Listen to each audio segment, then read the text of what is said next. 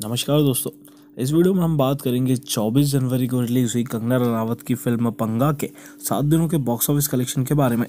आपको बता दें कि इस फ़िल्म को काफ़ी अच्छे रिव्यूज़ पब्लिक की तरफ़ से मिले। साथ ही साथ क्रिटिक्स ने भी इस फ़िल्म को अच्छी रेटिंग्स और अच्छे रिव्यूज़ दिए। इस फ़िल्म में कंगना रनावत की एक्टिंग की काफ़ी ज़्यादा तारीफें हो रही हैं।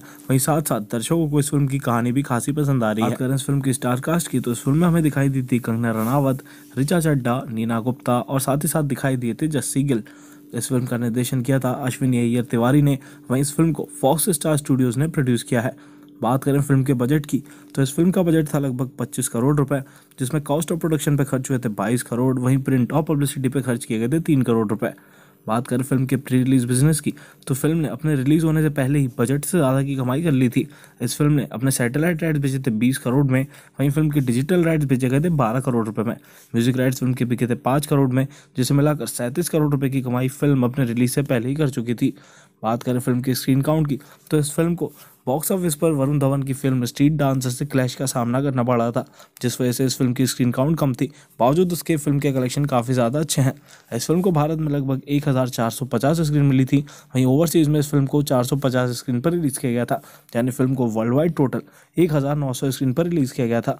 बात करें फ़िल्म के सात दिनों के बॉक्स ऑफ़िस कलेक्शन की तो इस फ़िल्म ने अपने पहले दिन ओपनिंग ली थी दो करोड़ सत्तर लाख रुपए से, जो कि दूसरे दिन अच्छे रिव्यूज़ और अच्छे रेटिंग्स की वजह से बढ़कर फ़िल्म ने अपने दूसरे दिन कलेक्शन किया पाँच करोड़ इकसठ लाख रुपए। दिन रविवार का फ़ायदा फ़िल्म को मिला और फ़िल्म के कलेक्शन में अच्छी खासी ग्रोथ देखी गई।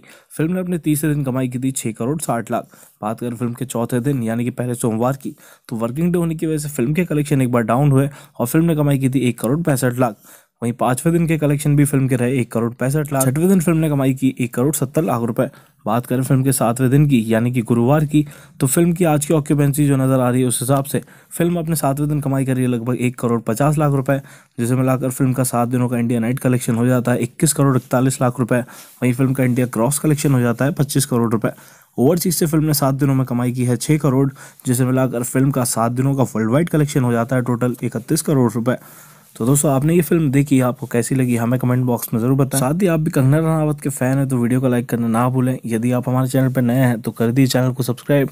साथ में दिख रहे बेल आइकन को भी दबा दीजिए, क्योंकि यहाँ हम आपको देते हैं सारी मूवीज़ की daily box office collection updates.